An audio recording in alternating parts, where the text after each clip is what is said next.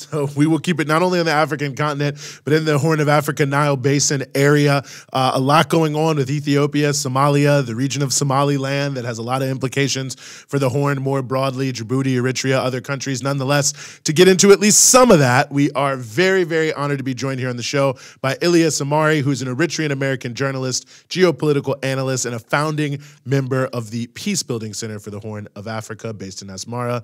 Ilyas, as always, thanks so much for being with us. Well, uh, Rania and Eugene, as always, I'm happy to join you on Freedom Side. Um, belated uh, Happy New Year. I wish it was under better circumstances, but the struggle goes on, I guess.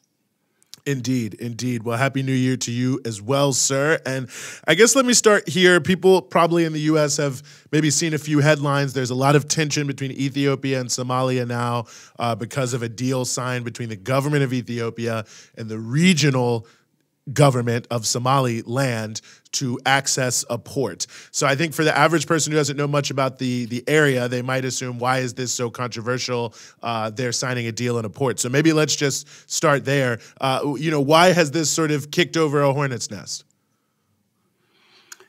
Well, I'll try to be uh, as brief as possible, explaining a very complex situation. Uh, I'm glad you brought uh, Brother Musab from Sudan uh, because I'm, I'm going to make making some linkages there, are essential linkages, even linkages further on with the genocidal war that's going on in Gaza and the, the Ansarullah, uh, you know, fight uh, in uh, in the Red Sea, Gulf of Aden. Uh, briefly, the Somaliland uh, breakaway region is a result of uh, the co- the Cold War legacy. as the Cold War ended, Somalia also descended into disintegration. Huh?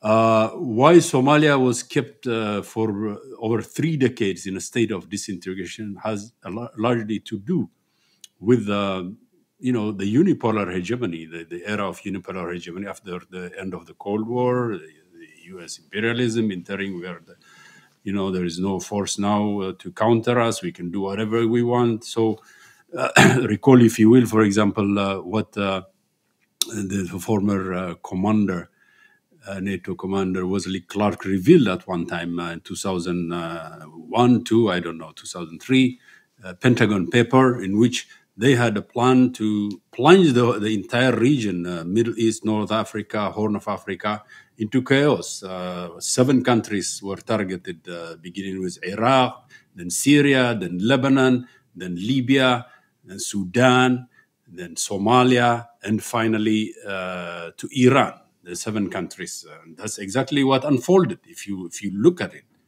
uh, why did he make that revelation?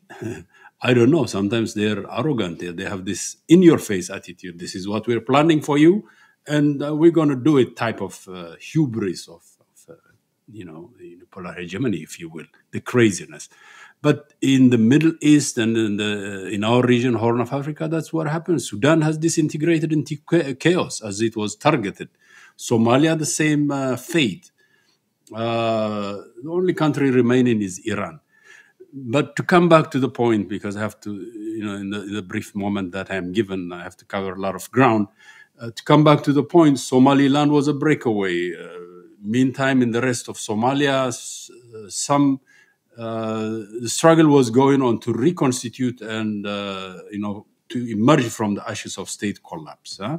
Meantime, the client regime uh, of TPLF in Ethiopia, U.S. client regime, was continuously prodded by its patron, the U.S., to unleash chaos in that part of the world, to, to divide Somalia along clan uh, lines, uh, to constantly, uh, you know, prevent the state from uh, from re-emerging from chaos. So the Somaliland breakaway regime in the north remained uh, in a state of limbo for 30 years. It never got uh, recognition, uh, international recognition, except maybe Taiwan, but Taiwan itself is in a state of limbo, non-recognition. Uh, meanwhile, um, Somalia was beginning to re-emerge from the chaos. A central government in Mogadishu, uh, some sort of uh, semblance of uh, army, navy.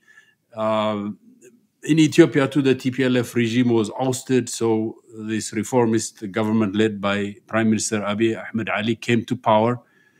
Uh, there were a lot of hopes in the beginning uh, for a new beginning, but those hopes are dashed now. Uh, have to be brutally honest, call a spade a spade.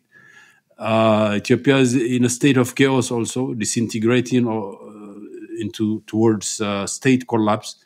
So this desperate prime minister there, Abiy Ahmed Ali, is maneuvering to you know to hoodwink the people and uh, to, to, divert their attention away from the urgent task in Ethiopia, the economic collapse, uh, the uh, ongoing wars in the Amhara region, genocidal wars. Some some would charge. Uh, so to divert that is bringing this port issue, the sea access issue, which never is really an issue. Uh, and so a memorandum of understanding was signed with the breakaway region uh, of Somaliland, which has no authority, no legality, sovereignty to give away uh, coastal, uh, you know, access for naval base or what have you, according to the memorandum of, of understanding. Uh, and this has created an uproar. It infringes on Somalia's sovereignty because the world, as far as the, the, the rest of the world is concerned, the international community, the United Nations, African Union, only recognizes the central government in Mogadishu, the capital, as having the authority and sovereignty over uh, the entire uh, Somalia. So this was a breach, uh, a reckless uh, breach that provokes Somalia. Uh, it is an act of aggression, and uh, they have condemned it. Now, uh, you have to bear in mind that this is only a memorandum of understanding, which is different from an agreement. A memorandum of understanding does not have legally binding uh, weight behind it. Huh? Uh, of course, it's much better than gentleman's agreement. For example, as the Soviet Union collapsed, it had Gorbachev insisted to uh, James Baker and uh, you know the, the German Chancellor that the, the word they gave him that NATO would not expand an inch forward. Had he insisted on having that in writing, even a memorandum of understanding, that would have been much better. But uh, it was only verbal, although memos of that meeting were kept. I'm, I'm diverting, of course. But what I'm saying is a memorandum of understanding does not have much weight uh, as, as an agreement or a treaty between two countries. And these are not two countries. One is, of course, Ethiopia is the seat of African Union, a recognized country, an old nation, uh, although it is uh, disintegrating in, into chaos. Uh, the other is a breakaway region that wants recognition but doesn't have it. it has been trying that for 30 years and uh, hasn't achieved it. Uh, it was not capable to hold a referendum. Uh, it's not capable even to control what is called Somaliland now because in a large part of Somaliland called Las Anod last year, there was a brutal civil war, and that part broke away from Hargeisa. So this is the situation and the background, uh, uh, briefly, that, that is happening there. The, the major driving force for the two uh, desperados, uh, Abiy Ahmed Ali in Addis Ababa and Musa Bihi in Hargeisa, is that both are in, in desperate situation. They want to salvage some kind of credibility or legitimacy within the, their population. And so they've brought this issue uh, for Mr. he thinks he's getting international uh, recognition for, from a prestigious state, the center of African Union, Ethiopia, uh, which is highly questionable. Um, as I said, the memorandum of understanding is, we have not seen the, the, full content of that memorandum of understanding. So and for uh, Abiy Ahmed Ali in Ethiopia, he's seeking uh, to divert attention from the desperate, dire situation that Ethiopia is in. Uh, it's near economic collapse, uh, wars in all regions of the country. Uh, in particular, uh, this dangerous ideology called Oromuma, expansionist, ethno-fascist ideology, which is that of the of the ruling group the Oromo Prosperity Party that controls power. So uh, I have, uh, I hope I have given you uh, some uh, some introduction into this complex situation that is emerging. But it is dangerous, and uh, the Somalia central government has condemned it through its cabinet of ministers. It has issued a statement. Uh, the Arab League uh, has sided with Somalia and condemned uh, this infringement on Somalia's integ- uh, territorial integrity and sovereignty. Uh, Egypt and others. the African Union has issued a somewhat tepid statement calling for calm and the two sides to to discuss the, the situation. The regional organization IGAD has also issued another tepid statement. Uh, I call that dereliction of duty on the part of these two organizations because a dangerous situation is emerging. And unless uh, forceful, um, you know, uh, opposition uh, comes forth from all parts of the Horn of Africa, uh, this will be uh, not not good for for for that troubled region. As your previous guest has indicated, Sudan is in the situation it is now. To add to that, Ethiopia, uh, and if if the region regional war happens in the Horn of Africa as a result of this reckless adventurism, that will have dire consequences for the region. Mm-hmm. I mean, it just sounds like God, there's just so much destabilization and, and so much potential for regional conflicts all across the African continent, the Middle East. It's quite a scary moment, but there's also so many historic shifts, shifts geopolitically. And I'm just curious in the sort of emerging world that we're world order that we're seeing um, play out. What are the forces that could help uh, de-escalate this particular situation? Well, uh, yes, progressive forces, of course, must first of all understand the complex situation, follow it closely, and uh, make the, the, appropriate analysis, make the linkages also. Uh, across uh, the sea in the Gulf of Aden, uh, you know, the Ansarullah resistance uh, movement, which is a quasi government that controls a huge part of Yemen now, uh, has, uh, by way of show of solidarity, uh, you know, stopped all ships that have any linkages with the Zionist uh, state of Israel, which is conducting the genocidal war on the, on the people of Gaza up north, uh, the, the, northern part of the Red Sea. you can argue what you will, but that has created uh, an insecurity in the Red Sea. The Bab el Mandeb, which is the choke point, the, the very important choke point, uh, an entrance from the Gulf of Aden into the Red Sea. So all shipping has stopped. Uh, that's going to increase uh, the price of commodities for Europe, and um, it will have dire uh, ramifications uh, in terms of increase of price of oil, increase in security in the Red Sea, the price of insurance for uh, ships have gone, uh, so they are taking the longer route through uh, the Cape of Good Hope, South Africa, to Europe. add to that now this reckless adventurism that is emerging in, in Ethiopia and Somaliland. That does not help matters. So, uh, you can add to that, as uh, the guest uh, was talking about Ukraine also, that war is still uh, not concluded.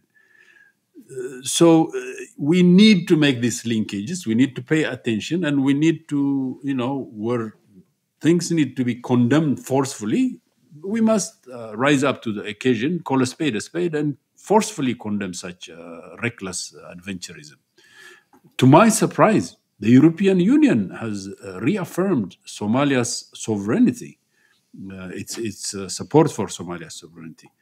Uh, so has the, the, USA Department. I was surprised uh, with their statement uh, yesterday that they have come, the spokesman of the State Department, Matthew Miller, I think is his name, said that we recognize Somalia's sovereignty as per 1960 borders, which is the Somaliland uh, breakaway dream of secession, uh, is not going to happen. The best way forward is that uh, this situation has to be resolved. Somalia has to reconstitute itself, stabilize itself, because uh, we cannot afford another uh, instability in the Horn of Africa, which can engulf the entire region into a wider regional war. already the prospects of a wider regional war in the Middle East are, uh, you know, are haunting us. Uh, the genocidal war in Gaza is continuing. This reckless Zionist uh, regime is continuing the war. Uh, bombardment in Lebanon. Uh, the Houthi Ansarullah movement in Yemen. Uh, you see what I mean, Rania? The, the danger is there. And this conflagration may even lead into nuclear holocaust. So uh, we really uh, need to see the urgency of the emerging situation, and as we have to stop uh, conflagrations from from happening all over. So we need to condemn uh, this move, this latest move by the irresponsible uh, leaders uh, in Ethiopia and in Somaliland you know, and, and reverse the, the, the, situation, reverse course. Ethiopia has to backtrack, backtrack from this. Somaliland does not have any sovereignty or, or the authority supposedly representing Somaliland in Hargeisa, Musa Bihi, does not have any authority to, to grant uh, such kind of uh, lease, uh, whether it is uh, through a memorandum of understanding or uh, an agreement. As I said, it, this is still a memorandum of understanding. The full content of it, we have not seen yet. Uh, some are saying now that the Ethiopian uh, leader may have deceived the, the Somaliland uh, leader into thinking that he was, going to get international recognition. Uh, we have not uh, seen the full content of this memorandum of understanding, but uh, even the false hope of uh, recognition for Somaliland doesn't bode well for stability in the region. Mm-hmm. Mm-hmm. No, very important points, and you know, also notable that Somaliland has been shopping itself in terms of recognition to the U.S. and the U.K. for the past year as the best friend of the West, if they were to recognize them. So, a lot of different pieces and layers uh, to this. We'll have to leave it there right now, but I will note uh, or ask you, Elias, tell folks where they can find you on YouTube because you actually have two very long, in-depth discussions with uh, Dr. Mohammed Hassan on on many of these issues. I think are quite illuminating. Thank you, Eugenius. Uh, I have a YouTube channel that is slowly growing, uh, Elias Amare, or at Elias Amare. Uh, have a presence also on Twitter at Elias Amare, and thank you for uh, for the support. Uh, uh, the last interview we did, I have uploaded it, and people seem to like it. Uh, thank you for granting me gracious permission to upload it on my channel. This is kind of solidarity co- collaboration that is growing on be, be, between us, and I appreciate that very much, uh, Rania and Eugene. And I wish you all the best. No, we appreciate you. Thank you so much, as always, Elias. Thank you.